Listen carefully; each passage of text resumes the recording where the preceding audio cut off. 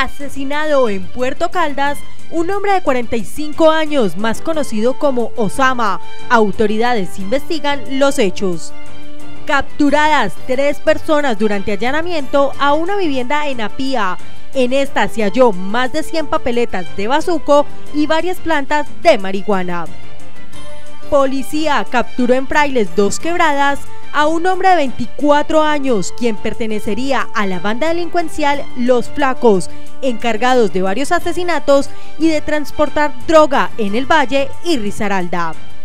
Un audio que rueda en redes sociales tiene preocupados a conductores de Uber, pues en este amenazan atentar contra sus residencias y vehículos.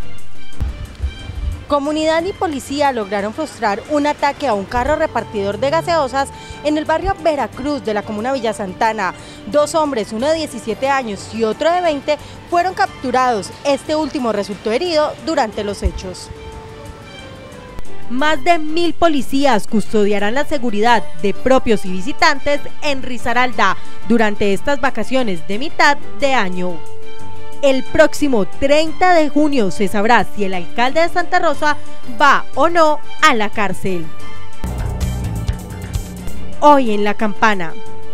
Se complican aún más las relaciones entre el gobernador y la asamblea, es decir, el bloque mayoritario. Abiertamente se declaran en oposición.